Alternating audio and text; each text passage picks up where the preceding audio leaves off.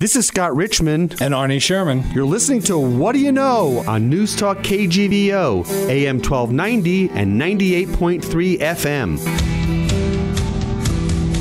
Good morning, Arnie.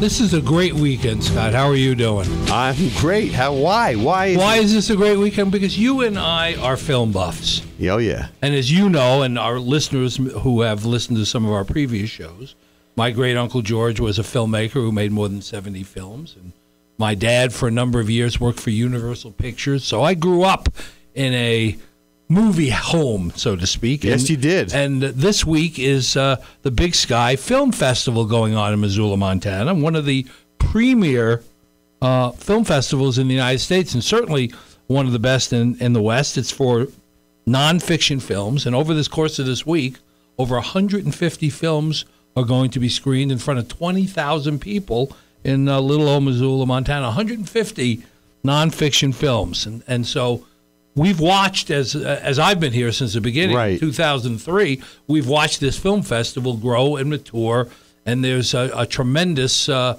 uh, you know, repertoire of, of films that are presented every year, and uh, we're fortunate enough today uh, have on our show one of the producers of uh, one of the featured films that actually is going to air uh, or, or be shown this afternoon at 2:45 at the Wilma Theater. Right.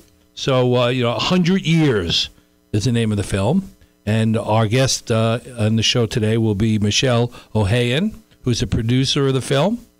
It was, uh, I think, it was directed by uh, Melinda Janko. It's a very interesting story Yeah.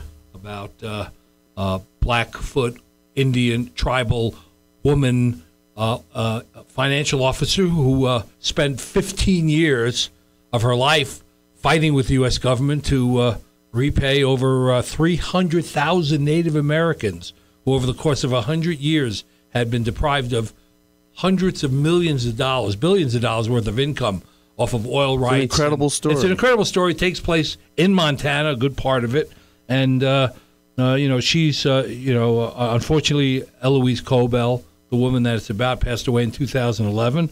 But this is a, a, a great um, story of her life and her dedication to uh, a cause uh, that was rooted in the 19th century. I mean, it's a and and, goes along in a path that kind of uh, you know celebrates what's happened. You know, uh, something good about uh, what's happened with the Native American community, Right. along with you know the exploitation that took place for a long, long time. So I'm excited to talk to her about this film and some of the other films that uh, that she has made. Colors Straight Up, which I, I saw a number of years ago, and you may have have seen, is uh, was an Academy Award nominated documentary about the gang members Yeah. in L.A.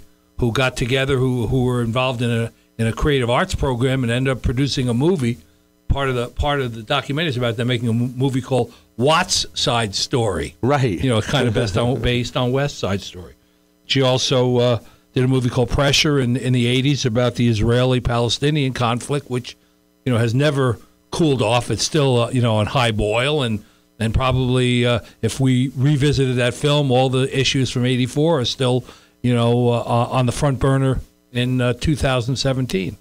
So I'm excited about that. And I'm excited about uh, the film festival here and a movie that takes place in Montana. And uh, as you know, we have a rich tradition here in Montana of great films being filmed here. Right. Um, and some of my favorite films have been filmed here. The last of which was, uh, you know, The Revenant, you know, which won three Academy Awards last year. Leo DiCaprio. Leo DiCaprio and the director won for, and the screenplay won, and uh, you know, Little Big Man was filmed here, one of the great movies with Dustin Hoffman. That was a long way back, but um, Runaway Train, The Shining was filmed here. Thunderbolt Was The Shining? Yep, I didn't know that. Thunderbolt and Lightfoot. That's where uh, Jeff Bridges met his wife in Livingston, Montana, when Wow. filming that movie. Horse Whisper with uh, Robert Redford. Uh, Heaven's Gate, known because it was considered by many one of the worst A flop. movies. Flop, but I've I like it actually. I've seen it a number of times Uh-huh. with Kris Kristofferson, great cast. Uh, Forrest Gump, part of Forrest Gump was filmed here. One one movie that on, on every critic's list is one of their favorites. Right. Part of it was filmed here.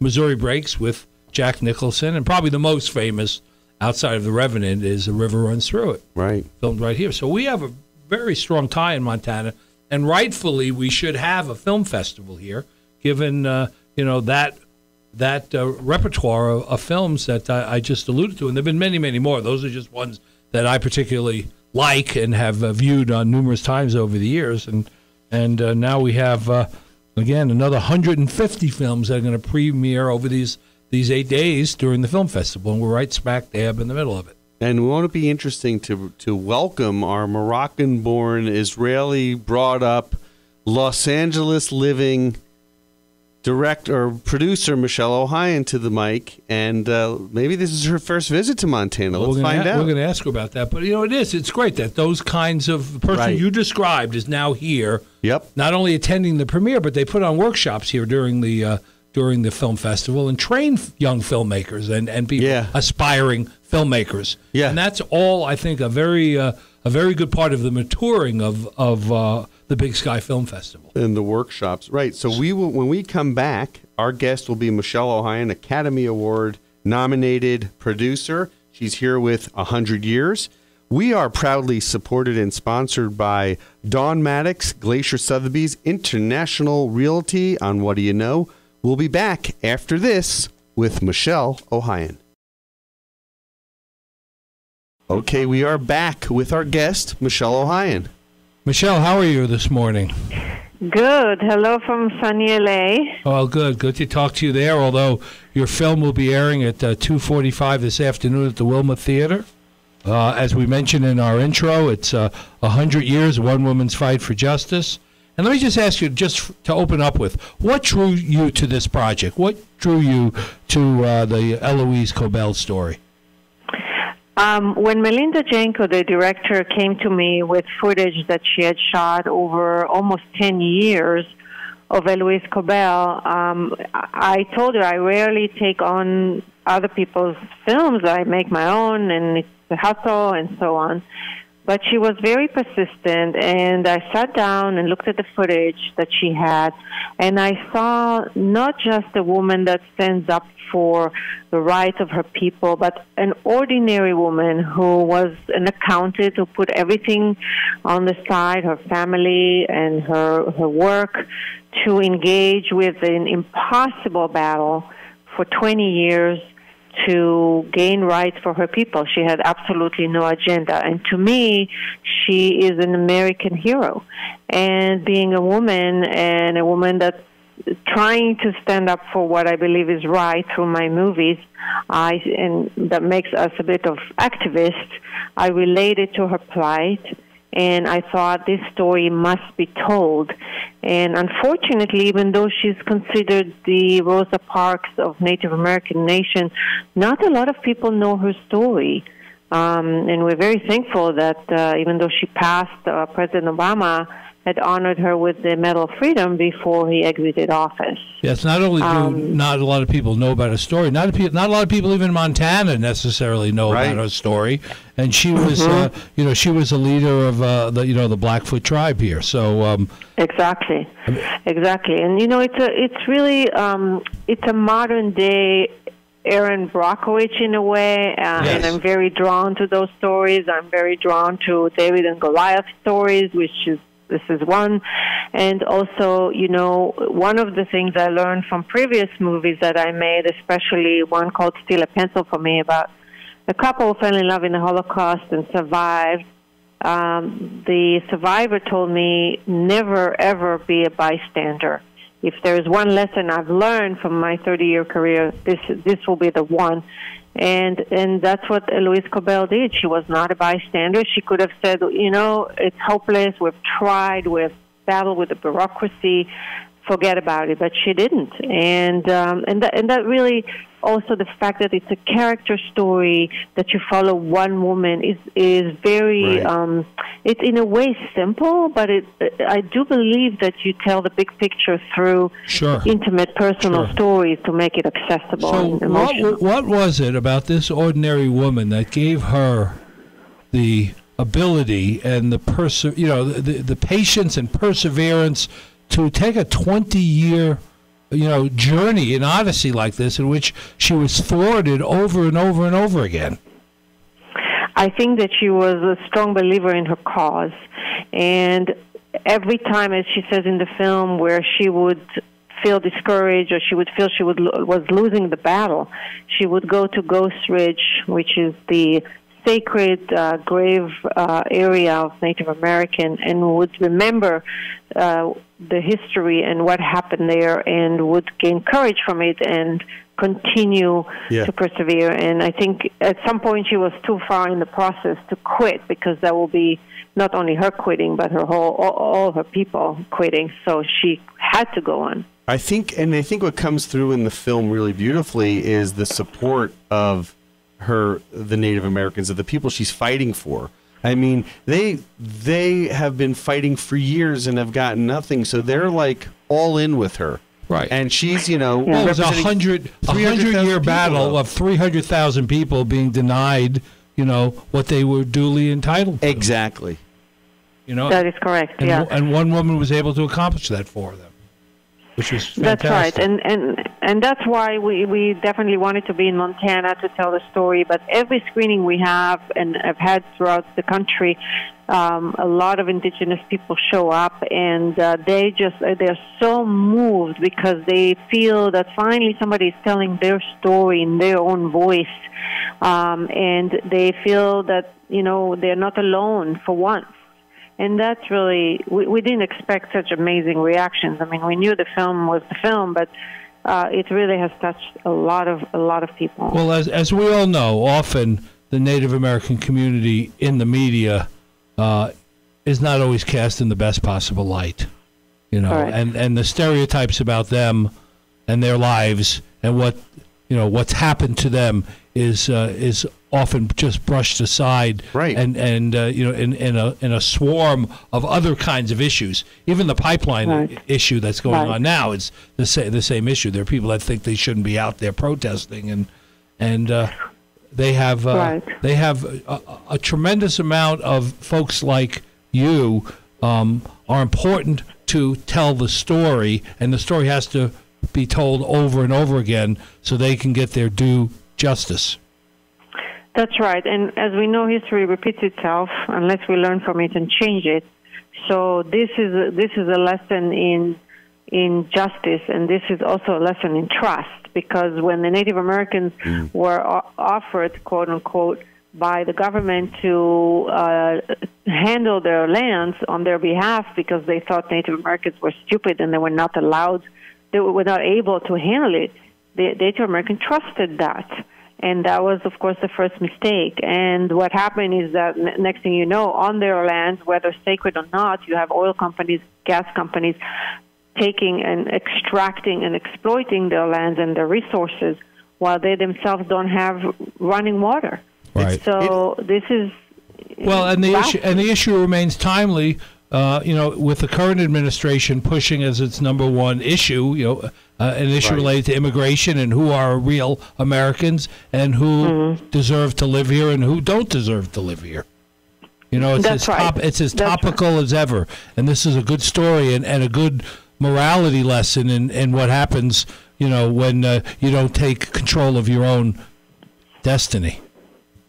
Yeah, that's right. And also a story that unites people rather than divides people. Right. And uh, again, from the reactions, people, even you know, the elite of New York, they come out of the screening going screaming. They're so angry, a angry at themselves that they didn't know about it, and b what how is that possible? And and I'm talking this is a par- bipartisan because Louise went through four different administrations, so it's not even a political, uh, partisan issue, but it's just a matter of nobody wants to make change, a change, especially if it's a monetary change on their watch. Uh, right. And I, I see it even in my new film that's coming out this year called Power. It's about energy and the geopolitics behind it. It's the same. Governments, the- they don't want to make changes, even though it improves our lives, because they don't want to spend the money now and be considered the president that or the government that has Right. a hole in the budget. They want to Sure. kick the Um, can down the road. They Sure. wanna keep, let me. The, one of the striking things about the film is how you're able to pack a lot of emotion um, for the for the viewer in 76 minutes. Um, I mean, Yeah. you're appalled that they're so trusting. That They're so trusting, and you feel for them, but then you see that they're constantly let down. So you're like, How can this be? Well, and also it's not, ju- and it's also the visuals. The visual of the woman with the broken windows in her Right. house and the five oil wells pumping on her land is a is a great visual to you know to sort of sum up the the uh, the, the conflict in, in a nutshell. Michele, in your research, in your research of getting involved in this project, did you meet any of the families, um, or was it really you and Melinda directly? It was me and Melinda first, and then every screening we had, uh, we invited uh, subjects from our film, such as uh, John Echohawk, Tex Hall, and they travel with the film. Uh, we're going from here to Washington, D.C. for the Environmental Film Festival in March, uh, where um, uh, Keith, the lawyer that's portraying the film, who is now Yep. the UN ambassador, uh, he will be coming there. So um, there's really not much um, from Louis family that, that we can, but a lot of uh, families that uh, are on our website, we we keep in touch with everybody, and they interact with us through the website as well. But Melinda is also very involved, and she had gone several times to various reservations to show even a rough cut um, outdoors and uh, to, to, to get everybody to know we're still doing this because it took so long. Uh, people thought, okay, this film is never going to end. Right, Um, right. But uh, but then you know I came on board and put a team around her and we, we raced to the finish. Right. Um, so How she's very ago- involved. How long Mm-hmm. ago was that that you got involved? I got involved about three years ago, and uh, every time we raised money, we continued cutting, and then we ran out of money, and then we stopped, and we continued. And um, you know, it really was down to some angels that uh, helped us, and also uh, the tribes really stepped up Sure. and raised money and uh, and, and helped this film. So let me ask you this: you're you're in a business where um, you're producing nonfiction or documentary films, and it must be a real labor of love not only to produce the movie but to raise money for this kind of a, a production. The whole industry itself, um, you know, at the Big Sky Film Festival, they're going to be screening, as you know, uh, 150 films. These are films Yeah. that are never going to make money in the traditional sense of the movie industry. And and what do you have to go through in order to raise money for a for a film like this, or some of the even your your Academy Award nominated uh, you know films, Color Straight Up, had to be uh, difficult to raise money for. Yes, absolutely. First of all, you said in my business, so let me scrap the word business. Okay, it's not a business, right, right? off the bat. It's not a business. Not a- no, but it is, but it isn't. Um, uh, look, I mean, for me, making documentaries is a choice and it's a calling, and it's my way of giving back to the community in the best way I can. I'm also fascinated with education, so every film we make or I make has an educational component to it. Even Color Straight Up, we wrote study guides and for two years circulated with the film in the schools and so on. And we're planning to do the same with 100 Years. We already have requests from schools and colleges because it touches upon many subjects, such as even legal. Uh, law schools want it, indigenous people want it, uh, women's groups want it. So, but to go back to your question, you know, it's there is, for example, I actually screened a movie at Big Sky many years ago and won an award there. It was called Cowboy del Amor. Right. And Right. yeah, so you know that actually made money because it was a, a comedy in a sense, breaking the stereotype of the cowboy, you know, the American cowboy, and we sold it to Showtime and to Netflix, and we we more than covered. Well, that's but good. usually, yeah, but usually films that have a, a, a serious message with a cause uh, behind it are very unsexy in a way unless they are extremely provocative.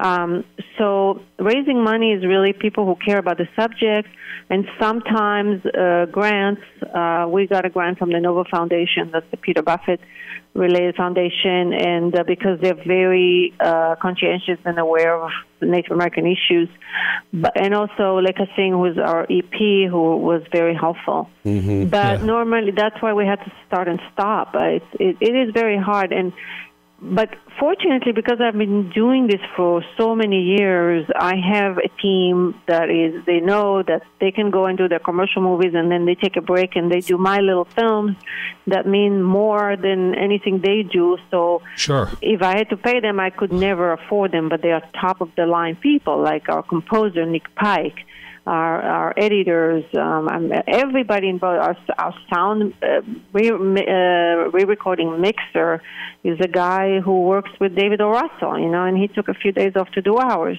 No, the quality um, the quality of the production is is exemplary. Michele, is there someone that um, actually, from a production standpoint, helped bring it over the finish line that came in with funding that you want to mention, or are they anonymous? Uh, some of them are anonymous, and the rest I've mentioned already. Okay. Um, yeah, and and so now we're trying for, to find a home for it. Uh, we approached PBS, uh, we approached uh, ABC, we approached Netflix, of course, that has been my home for so many years, mm-hmm. to see if they will take it on.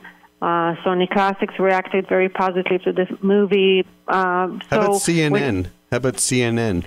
CNN, um, unfortunately, they passed. Uh, it was an earlier stage of the film, but uh, you know, I know them, and um, I tend to go back to them because of you know the reviews have been great and the reactions have been great. But right. it's not easy. Uh, today's documentaries, and I serve on the executive committee of the Academy on the documentary branch, and we we always try to see how we can balance the big.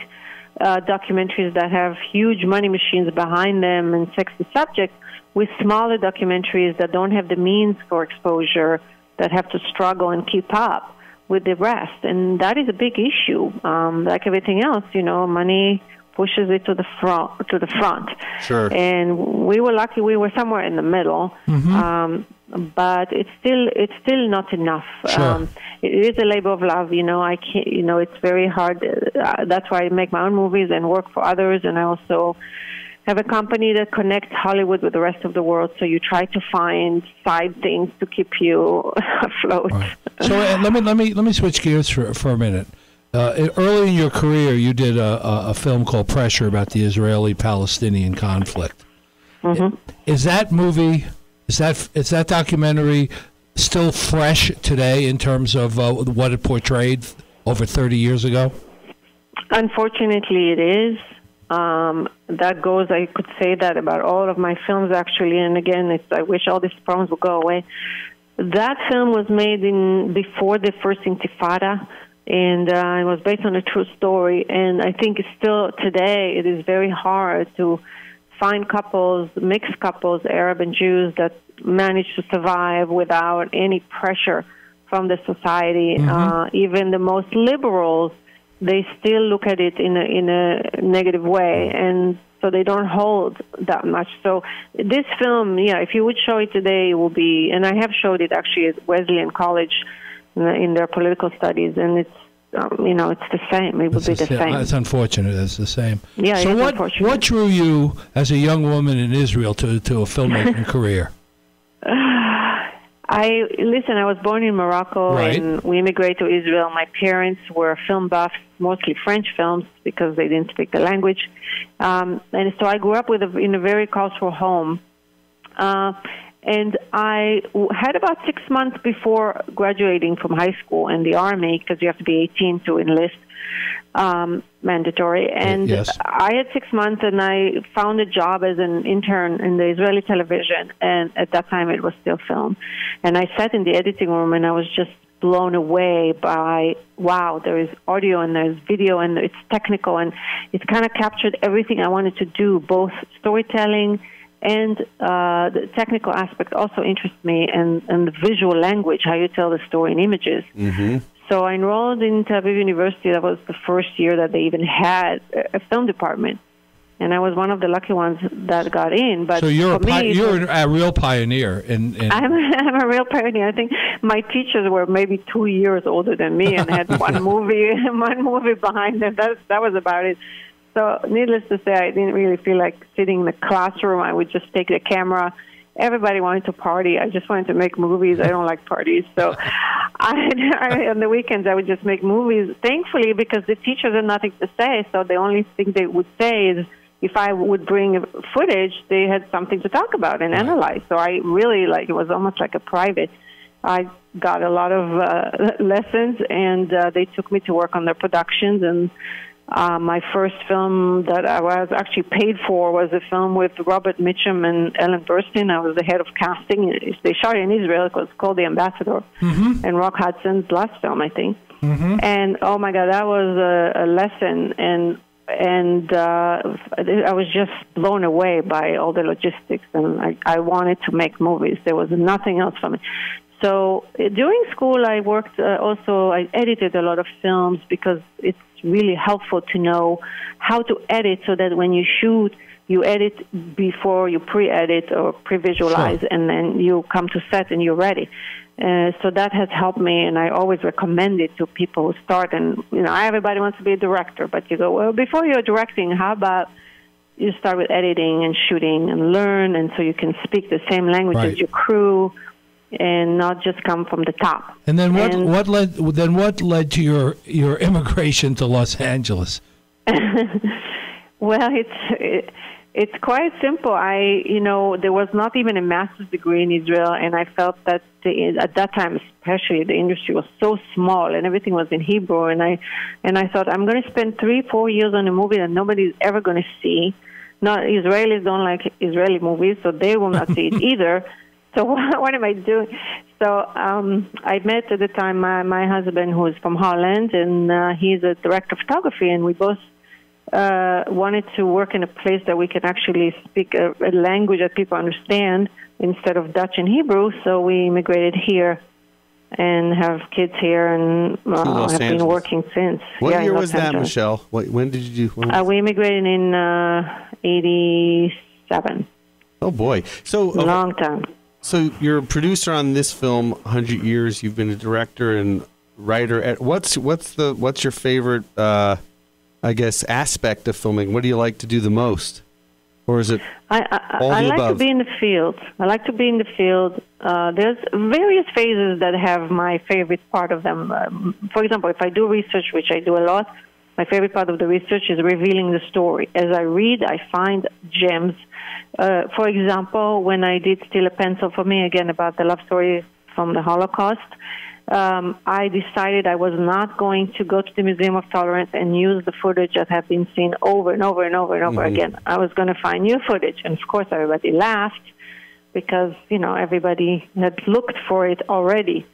Um, but I did find some home videos in Holland that nobody had used before in a movie, Super 8 and 8 millimeter, like a dentist had filmed from his window, the Germans marching through the streets of Amsterdam. And the story is based in Amsterdam first. So I integrated, so that for me was a revelation, or I found a still of the liberation train of the woman that's in the movie that she had never seen. And of course, that um, put her life upside down Wow. so those those are the research gems and then in filming what i like is the unexpected which is why i do documentaries and less fiction which is scripted. Um, i come to set and i think this is going to happen and of course either the opposite happen or nothing happens or three things happen. And my challenge and and my thrill is to be ready to capture it as it happens and as it unfolds, and not only ready to capture it, but capture it in the best visual way possible. And that's where experience comes in. You know when to move the camera, you know when to zoom in, or you know when to come close and when to stay back. And that and the, the the trust that is built between me and my subjects, no matter what and who they are, whether they are gang members in South Central, like in Colors Straight Up, or Richard Clarke, who you know I made a movie with him about national security. The trust is crucial, and um, you have to find every. You have to utilize everything that you've got to every resource to a create the trust and implement that Yes. at the end in the editing room and tell the story with integrity, um, even though you really want to show the ugly stuff, but you don't because the this- subject trusted you. Is this your instinct that this is how you approach it, or is it something you learned over time from different mentors? You know, Unfortunately, I didn't have mentors. I wish I did. As I mentioned to you, Israel was so young, and there was Right. no one. My mentors were the Russian documentarians. I read their books inside out, and Pudovkin and Eisenstein. Those, those were my, those who, you know, where I learned. It was a lot of instinct, intuition, and um, just being a people's person, and the first thing you need to to know how to do as a documentarian, like journalist, is to listen. Yes. Uh, when you listen, instead of just going through your questions because you typed them last night at midnight and you want to get through, you need to to hear and and build on what you hear to get deeper and deeper and deeper. So, and so Michele, even today, there aren't that many women filmmakers. What what Mm-hmm. what is what, what was your experience like? You know, back in uh, you know the '80s when you were trying to do this, and uh, and how has it changed over time since then for women in the industry?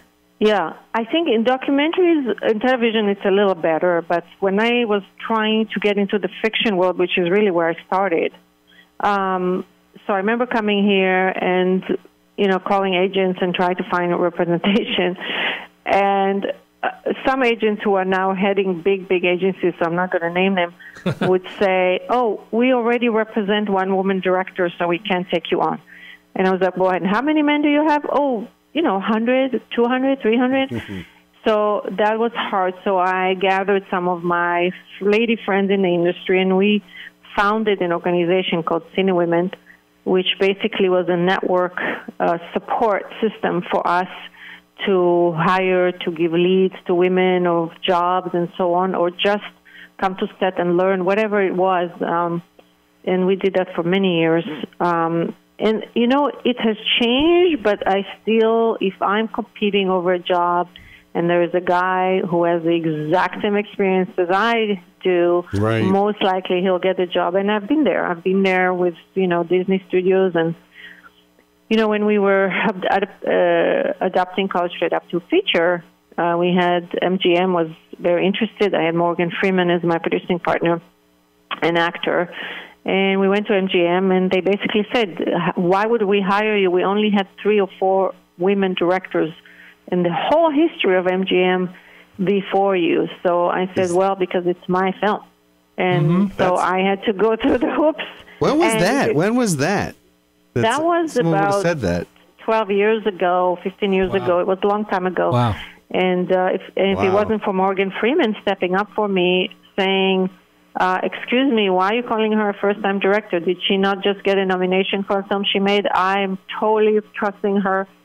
And so they said, Good "Okay." for him. Good for both. So, of you. yeah, Right, and that's that's that. Yeah, having Morgan Freeman stand up is like having God stand up for you. Literally. So literally. that's true. yeah, right. But like, you, but you, I think, had an early inkling of about all this. I think, I think when you you mentioned earlier, you'd worked on the movie The Ambassador, and as I recall, th- that movie didn't have very many women characters even in the movie. I think Ellen Burns, Burstyn was the only you know Yeah. major woman that That's was in that film, and That's um, right. She was the wife. yeah, she was the wife in the film, and uh, uh, you know historically that that you know that that was the case. You know, you you Yeah, rarely see. That's another reason why I wanted to do the Elouise Cobell story when it came to me, because I, I do feel that every opportunity Right. that is valid to show a female protagonist is a good opportunity, especially if it's a positive one. Right. And so that that was definitely one of the reasons. So, do you have a, a, a slate of films in your mind, or, or I mean, do you know what you're going to do after you know you've done Power? I mean, do you have a number of films lined up, or do you you Yeah. seize on one good opportunity uh, at a time? Um, unfortunately, because there are so many stops and starts, you have to have more. Than, I have to have more than one film. Right. uh, because we don't know which one is going to take off. So we have Power, as I mentioned, the energy film. We launched the work in progress at the Climate Change Summit in Morocco, COP22 in Marrakesh, um, and showed it to energy experts as part of the conference. It was great reactions.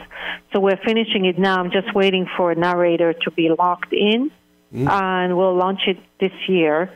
Um, I also finished a film that just started streaming on Netflix called Christina, uh, about my friend who went through cancer and asked me to film her. So it's a very intimate uh, journey uh, that is very inspiring for people who are either going through or have family members who are going through. And that's, again, it's streaming on Netflix right now. Um, and then I have a few ideas that I pitched to Netflix actually yesterday. Um, together with other films that I'm consulting on. One is on the Mustang horses that are roaming on uh, on public lands and the the battle over the lands between uh, the government and how they can be extinct if we don't do something about it. Um, so those are some of my movies, and I'm consulting on a Dutch movie called Mother Beauty about the concept of beauty from the time of Marilyn Monroe until today. Um, so yeah, that's. that's This all four or keeps. five- This is all exciting stuff, and it must keep you energized uh, constantly, because you have a Yes, you have you a know, broad my- range of, of films. They all have an emotional, you know, string to them, emotional spine to them that makes them, uh, you know, uh, you know, I guess convey your passion about the topics. Yeah, and I, you know, I always think about, the, okay, is this going to be a movie that I will be proud to show to my children or not? And uh, that's that's number one. Two, can I have the audience feel these people? Can I, am I qualified enough to understand this subject and be able to go deep enough to expose the heart of the subject so people can actually touch it? Um, can I distribute this film? So all all of these are factors in determining if if I am going to be on this journey in the next two or three years because it is a long journey. Uh, but the emotional angle is extremely important to me. I'm not really into intellectual movies. Even in the national security movie SOS State of Security, you hmm. know, Richard Clarke is not an emotional guy. He's a brain guy, he's a security guy.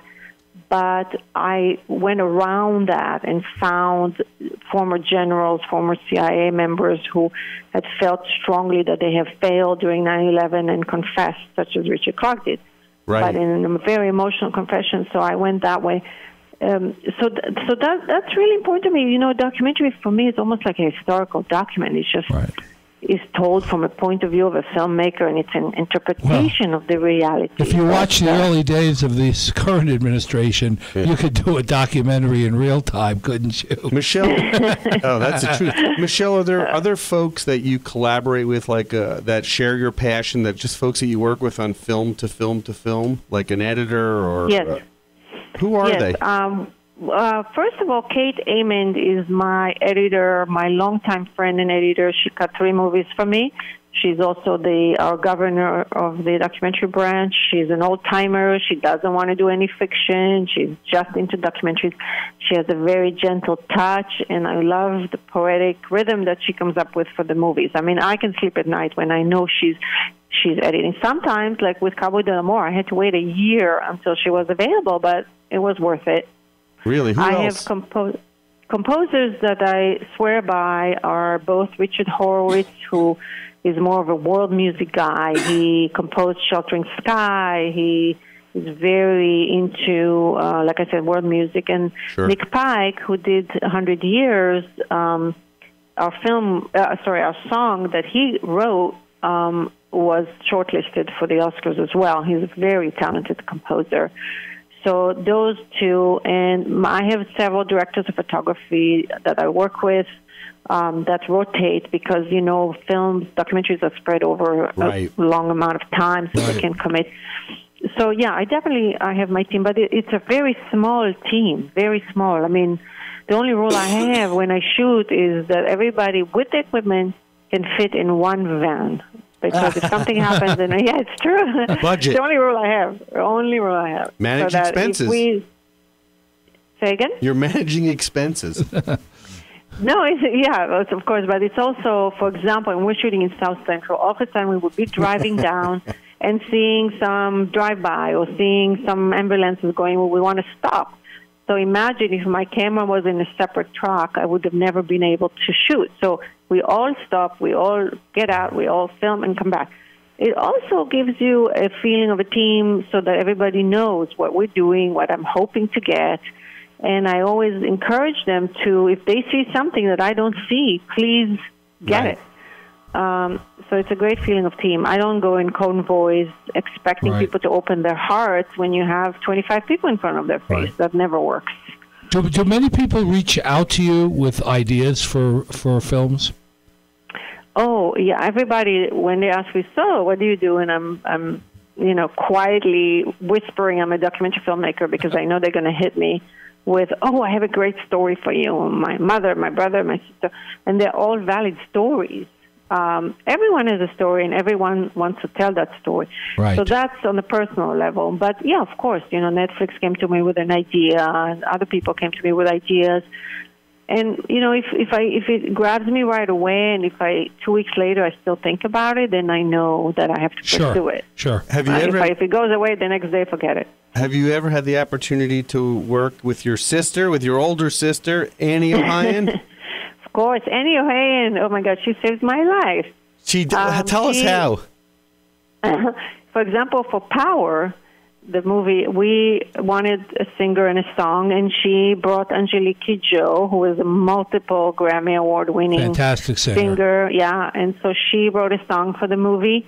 Not only that, when we went to Marrakesh for the Climate Change Summit, she performed at the concert at the end of the conference, and that was, you know, a lot of Annie doing. Um, Annie connects me to music people when I need to, and uh, you know, she's like the music arm of of uh, of my film arm. Right. Annie is uh, just for our listeners. Annie's a friend of mine, but also an extraordinary network, public relations person, connector from the music industry for many, many years. You know, two, Yeah, she's daughter, a two daughters. two daughters that have uh, Uh, skills excel. in the industry. Right. Well, Well, you- we have two more in Israel that are doing similar things, but we're not. Is that we're right? going to go there. I had no idea. Well, what, what, Yeah. what's really exciting about what you do in general, I mean, the, the, you- the whole repertoire of films that you have, is you memorialize, you know, for all time, very important events and individuals. Eh, You know, at that point in their life and that point of the issue, and they're, and they're there for, for for the record, so to speak. I mean, you can remember reading about something, but you have captured an, a whole array of important issues and important uh, you know experiences and you can always go back to it again just like seeing pressure or Colors Straight Up or now you know with a hundred years and, and, and you you have the you know the the record of it. You've made the recording and the record of that activity Yeah, it's true. And we should also mention, you know, my actually very first film here in America was called It Was a Wonderful Life, was narrated by Jodie Foster, Melissa Etheridge did the music. And it was about women who were middle to upper class, but for one reason or another lost everything they had and fell through the cracks and ended up homeless, but living secretly in their cars while keeping the facade of being the upper class. So they would have a fur coat and they would clean out themselves up in department stores, but still they would be homeless and even their kids wouldn't know. And that was shocking to me when I that's came to shocking to me States. now Where where can Yeah. you, where can we find that? Is that is it on Netflix? It was a wonderful life. Uh, no, it was on Netflix, but now it's on uh, Filmmakers Library. If you type, if you Google it, it will come up in various places, also Amazon. i'm very anxious Um, to see that that's fa- that's fascinating i would never have known that Yeah. Yeah, and so that was also about women, and uh, again, it touched a lot of people because a lot of women came to me and said, you know, we're a paycheck away, and you know that can happen to us. And it's again, uh, the big picture is that the infrastructure here in the United States is not uh, able to Right. support and sustain people who fall even for a few months. right well most americans don't hand- have any safety net whatsoever majority of have no americans safety net. No. It's true, but on the other hand, you also have the family that is not supporting their own, and that's something that in Israel would never happen. I Right. mean, even if I would be homeless for two years, I would have a place to crash. Eat or be But eaten. here, yeah yeah. Well, look, Right. let's take a quick break. We're going to finish up Sure. with Michele Ohayon uh, on What Do You Know, presented by Dawn Maddox, Glacier Sotheby's International Realty. Back after this with our final segment with Michelle. Okay, we are back with Michele Ohayon. So Michelle, the, the film Hundred Years is going to be screened uh, on this on today at uh, two forty five at the Wilma Theater, and then again on Tuesday there'll be another uh, performance of the show. And you and uh, On Wednesday, sorry. excuse me on Wednesday. Excuse me on Wednesday it'll be it'll be screened. And uh, you and Melinda Janko, who is uh, who is the filmmaker on this, will both be here on Sunday today.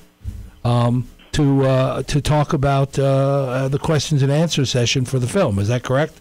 Yes, we will be there, and we'll be very happy to meet everyone and answer any questions they may have. We'll also send them to our website so they can be in touch with us, 100yearsthemovie.com. There are a lot more screenings coming up. And we want to engage the audience so that they are staying active, not just uh, showing up for the movie, which is great, but we want them to follow this process uh, and be involved with us throughout this journey.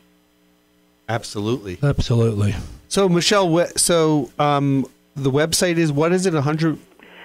A hundred years themovie.com. Right. Okay. And if somebody wants to reach out to you with an idea, you have uh, uh, you you have your own entertainment production company Yeah. called Kavana, is that That- right? That's right. Kav- Kavana in Hebrew means intention. Yes. So everything you do, you do with intention. And they can reach me through kavanaent.com. Uh, and there is my email address, and they can contact me for, for anything. And if they have ideas and want to host a screening of any of our, our movies, uh, we're very happy to, to do so. We're very accessible. Um, and and we also, you know, we want we want to build a community of love around this film and others because we do believe that today's audience is not just the theater goers, but of course the digital audience, and uh, we we think that every eyeball is a, is a ticket holder. That's how we view our our followers. So we would love to have uh, everybody sign up and, and be part of this. I think I think the Native American community, the more folks that are exposed to this film, how proud they will, will feel, and how much pride they will have in this film because it really is they overcame and. Uh, Well, it's, it's, a moving and it's a it's a good positive story with a positive outcome. It doesn't have a negative outcome. It's really it's a That's very right, moving and- film. and I think it it will be inspiring for for people who have who have that one thing they have to do in their lifetime that they haven't done yet, and they feel strongly that will maybe push them over the edge to really go into and take action. And in today's climate, of course, we all need to take action. It's not even a choice. No, we absolutely you have no to. choice. So It's the an- only it's an choice imperative. is which cause Right. Right. and the only choice is which cause you're going to support. But there is no sitting at home and complaining is not no longer No. a choice. So No. the first thing to do is show up to the theater. That's step one. Right. Right. Well, Michele, And then we, You- we'll engage you. You've been a fantastic guest. We could talk to you for hours. Yeah, you're great. There's a Thank lot to you. learn in uh, in uh, having a conversation with you, and we'll see Thank you. you. Uh, we'll see you at the screening of your uh, of your film, and uh, good luck on your other projects. I can't wait to see the rest of you, the rest of your uh, films being produced and made. Thank you so much. I really appreciate having me on, on your radio show, and I'll see you on Sunday See- very soon. Today. Okay, you the- take care. Remember, the film is 100 years, and it's screening today at, and Wednesday at the Big Sky Documentary Film Festival. Arnie, I'll see you next week. See you next week. Bye bye. Thank you. Thank you, Michele. Thank you for listening to What Do You Know? I can't wait for the next show, Scott. I'm excited too, Arnie. If you'd like to suggest a guest, send me an email at scottrichman at townsquaremedia.com. We'll see you next week. And thanks for listening to News Talk KGVO.